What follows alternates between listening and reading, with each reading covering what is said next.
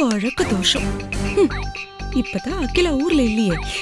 நிம்மதியா கால் மேல கால் போட்டு உட்காரலாம். நான் தான் இப்போ அகிலாண்டீஸ்வரி. அத்த இந்த புடவை எனக்கு நல்லா இருக்கா? ஏன்? இப்ப புடவை நல்லா இருக்கா இல்லையான்னு தெரிஞ்சுக்கிட்டு என்ன பண்ண போற? அது இல்ல அத்தை. ஆதி மாமா வேற பார்வதி விஷயத்துல தலையிடக்கூடாதுன்னு வார்ன் பண்ணிருக்காரு எதுக்கு வம்பு? பார்வதியை பத்தி பேசுறதை விட புடவைய பத்தி பேசிக்கிட்டு இருக்கிற இடம் தெரியாம இருந்துட்டு போயிடலாம்னு. ஏய் நீ ம். இருக்கிற இடம் தெரியாம இருப்ப. ம். அப்படியே வச்சனா? ஆண்டி. ஏன் ஆண்டி? உமாவையே திட்டிட்டு இருக்கீங்க? ம். இந்த ஆதி அந்த சமையல்காரிக்கு சப்போர்ட் பண்ணி பேசினால அதை கேட்டு இது என்னமோ உளறி கொட்டிக்கிட்டு இருக்கு. அதான் நான் யாருக்கும் பயப்படக்கூடாதுன்னு அட்வைஸ் பண்ணிக்கிட்டு இருக்கேன். என்ன உமா? ஏன் இப்படி பயந்துட்டு இருக்க? அதான் நாங்களே இருக்கோம்ல. ம். அவன் மிரட்டினானா இவ பயந்துகிட்டு இருக்கிற இடம் தெரியாம இருப்பாளா? மித்ரா.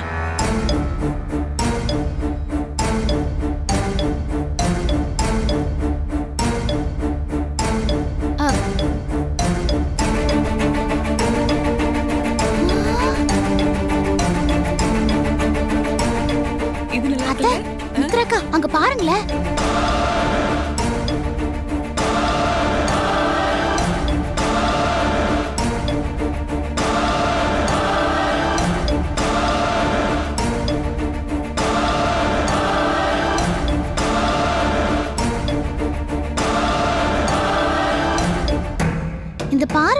புடவையில வந்திருக்கா ஏதோ இடிக்குதே உமா அத்தை போய் அவளை கூப்பிடுறி நானா வேண்டாம் அத்தை ஏய் எருமை நீதான் போ என்ன யோசிச்சுட்டே நிக்கிற நாங்களே இருக்கோம்ல நீ போய் அவளை கூட்டிட்டு வா, போ ம் சரி போடே போறேன் அப்ப என்ன நடக்க போதோ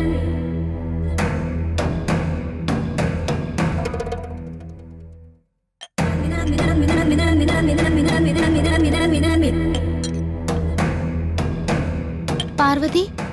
ஆ உமாமா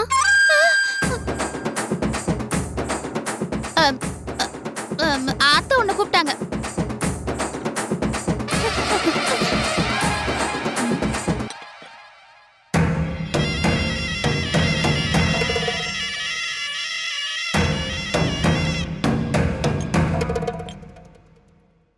சொல்லுங்கம்மா. என்னடி? என்ன? இன்னைக்கு யாராவது உன்னை பொண்ணு பார்க்க வராங்களா? இல்ல வந்துட்டு போயிட்டாங்களா? இல்ல எதுக்கு கேட்டேன்னா இந்த டிவில எல்லாம் Sarigamapa season one Sarigamapa season two Sarigamapa season three அப்படி மாத்தி மாத்தி வர மாதிரி உனக்கும் மூணு மாசத்துக்கு ஒரு தடவை கல்யாண சீசன் வரும். அப்ப உன்னை பொண்ணு பார்க்க வருவானுங்க. நிச்சயம் பண்ணுவாங்க. கடைசி நேரத்துல மாப்பிள்ள சொல்லாம குழம்பு ஓடி போயிடுவான். உங்க அப்பா இங்க வந்து ஒப்பாரி வைப்பான். அதுக்கப்புறம் நீ ஒண்ணுமே தெரியாத மாதிரி வேலைக்கு வருவ. இதெல்லாம் வழக்கமா நடக்கிறது தானே? அந்த மாதிரி நேரத்துல தானே நீ இப்படி ட்ரெஸ் பண்ணிருப்ப? அதனாலதான் இன்னைக்கு உன்னை எவனாவது பொண்ணு பார்க்க வந்தானான்னு கேட்டேன். அது வந்து புடவை கட்டிக்கணும்னு தோணுச்சு. அதான் கட்டிக்கிட்டேன். ஓ தப்பில்ல. கட்டிக்கலாம். ஆனா உனக்கு புடவை கட்டிக்கணும்னு தோணுச்சுன்னா இங்க மத்த வேலைக்காரங்க கட்டிருக்கிற மாதிரி யூனிஃபார்ம் தான் கட்டிக்கணும். அதுவும் எங்க கிட்ட கேட்டீங்கன்னா நாங்களே வருஷத்துக்கு ரெண்டு இலவசமா கொடுப்போம். அதை விட்டுட்டு உன் இஷ்டத்துக்கு இப்படி கலரா கட்டிக்கிட்டு மினிக்கிட்டு திரியிற வேலையெல்லாம் இங்க வேணாம். அதான் வருஷத்துக்கு ரெண்டு இலவச புடவை இங்க இருக்கே. உமா அத்தை. போய் அந்த யூனிஃபார்ம் புடவை ஒன்று இருக்குல்ல அதை கொண்டு வந்து இவ கையில குடுறி. ம் சரிங்க அத்தை. வந்துட்டாளுங்க. நல்லா ஜிகு ஜிகுன்னு மினிக்கிட்டு.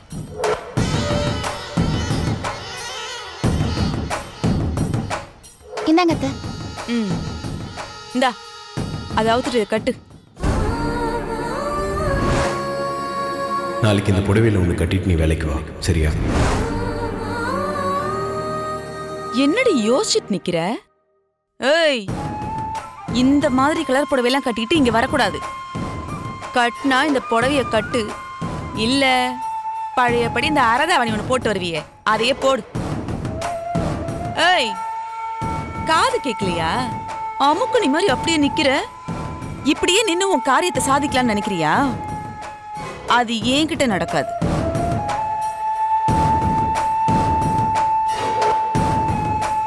இந்தா இந்த அழகு புடவையை அவுத்து போட்டு இத கட்டிட்டு வா. ஏய் சொல்றது காதுல வேலியா உனக்கு? புடிடி. ஏய் புடிடினா விடுங்கம்மா. அம்மா விடுங்க. வனஜா.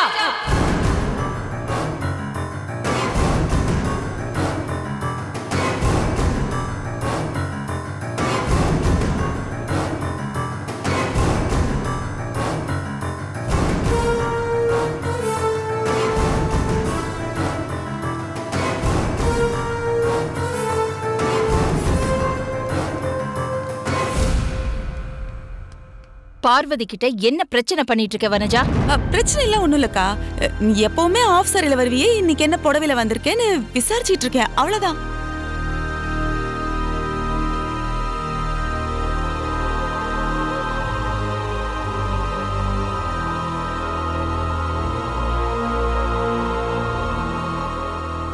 பார்வதி இந்த புடவை உனக்கு நல்லா இருக்கு. ரொம்ப மேட்சாவும் இருக்கு. யார் செலக்ட் பண்ணது?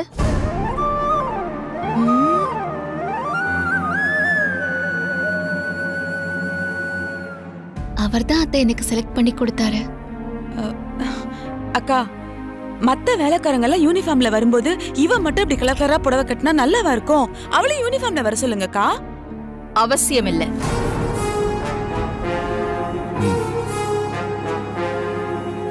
மத்த எல்லா வேலைக்காரங்களை விட பார்வதிக்கு சில விதிவிலக்கு இருக்கு. அதனால பார்வதிக்கு பிடிச்சதையே கட்டிக்கிட்டோம்.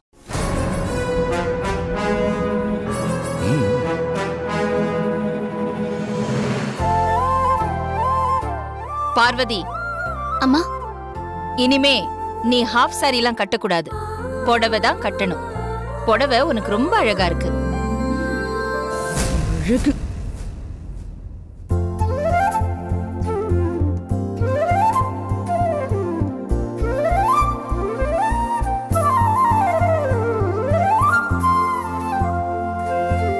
ஆண்டி நீங்க வருவீங்கன்னு நான் நினைச்சிட்டே இருந்தேன். இன்னைக்கு காலையில கூட எனக்கு தோணுச்சு. கரெக்டா நீங்க வந்துட்டீங்க? எப்போ வந்தீங்க? இப்பதான் ஆதி வந்தோம். நீங்க பிளான் பண்ண மாதிரி டூர்ல நல்லா போச்சா? ம் எல்லாம் நல்லபடியா இருந்தது ஆதி. சுந்தரம் அம்மா. இங்க வா. நான் போன எல்லா கோவில்கள்லயும் கடவுள்கிட்ட வச்ச முக்கியமான கோரிக்கை என்ன தெரியுமா?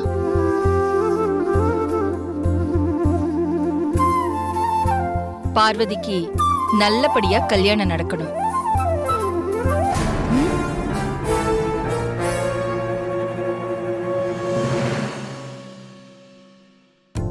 பார்வதிக்கு பொருத்தமான ஒரு நல்ல பையன் அவளுக்கு புருஷனா வரணும்னு வேண்டிக்கிட்டேன்.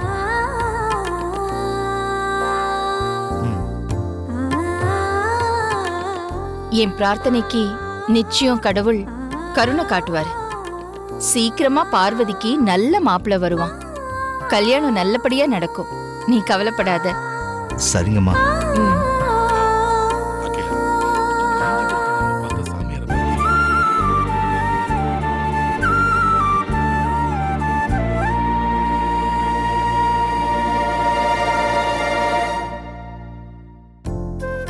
பார்வதி. அம்மா. இமயமலைக்கு தவம் பண்ண போயிட்டு இருந்த ஒரு மகானோட தரிசனம் எங்களுக்கு காஞ்சிபுரத்துல கிடைச்சது. நாங்க வேண்டி விரும்பி கேட்டுக்கிட்டதால அந்த மகான் இப்போ வீட்டுக்கு வந்துகிட்டு இருக்காரு. அவருக்கு நீதான் பாத பூஜை பண்ணணும். அதுக்கான ஏற்பாடையெல்லாம் சீக்கிரமா பண்ணிடு. சரிங்கம்மா. அக்கா நம்ம வீட்டு மூத்த மருமக மித்ரா இருக்கும்போது நீங்க ஏன் பார்வதி எல்லாம் விட்டு பாத பூஜை பண்ண சொல்றீங்க? பூஜை புனஸ்காரம் இதெல்லாம் மித்ராவுக்கு வராது. அவளுக்கு தெரியவும் தெரியாது.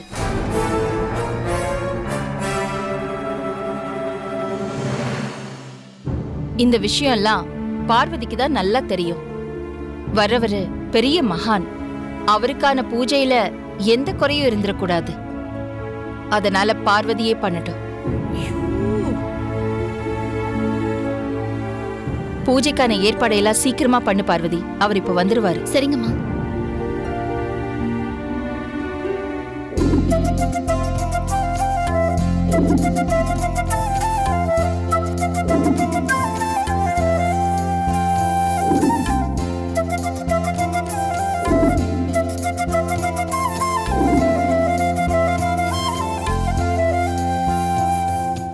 வாங்க சாமி.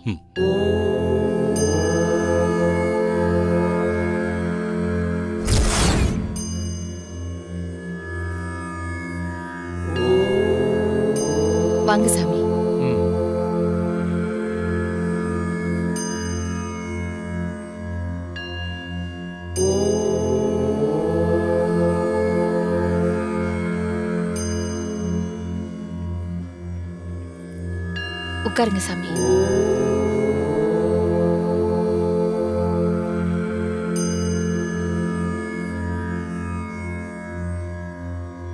ஓம் நம சிவாய. குருஜி தியான நிலைக்கு போயிருக்காரு. அதனால அவருக்கு பாத பூஜை பண்றவங்க மட்டும் பூஜையை ஆரம்பிங்க. மத்தவங்கெல்லாம் கொஞ்சம் தள்ளி நில்லுங்க. பார்வதி அம்மா நீ வந்து பூஜை ஆரம்பி. சரிங்கம்மா. எங்க. வாங்க.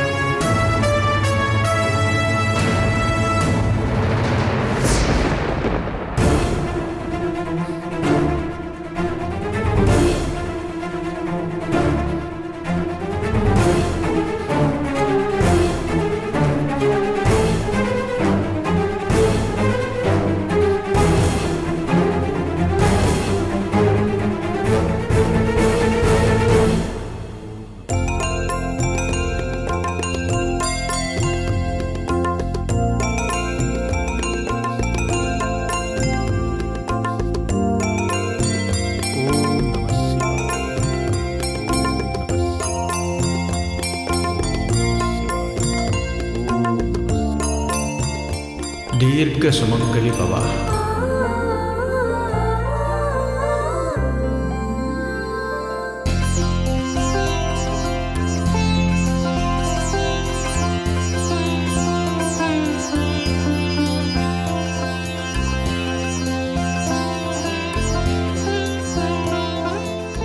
அம்மா ரெண்டு பேரும் வந்து குருஜி கிட்ட ஆசீர்வாதம் வாங்கிக்கங்க.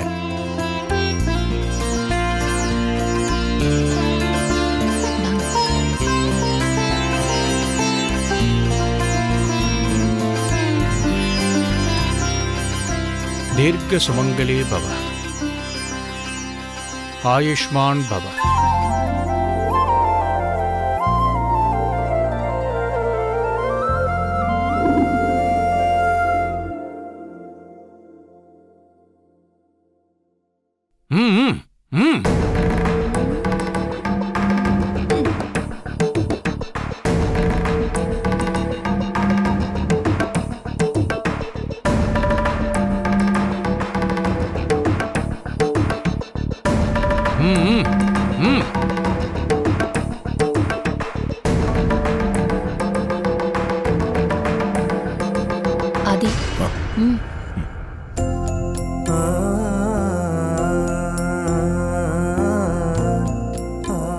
ஆயுஷ்மான் பவ.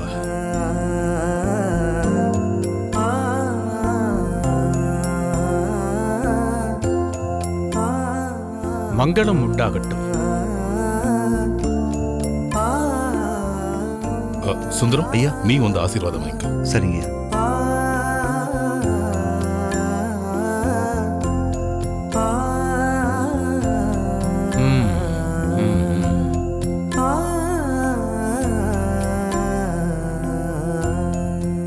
இன்னும் வேற யாராவது ஆசீர்வாதம் வாங்கணுமா?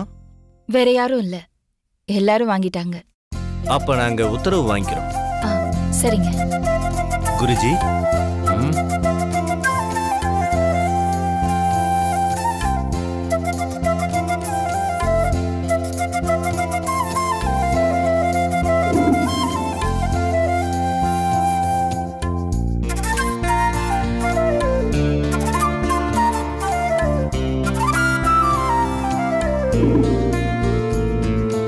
ரொம்ப நன்றி சாமி. நீடோடி வாழ்க.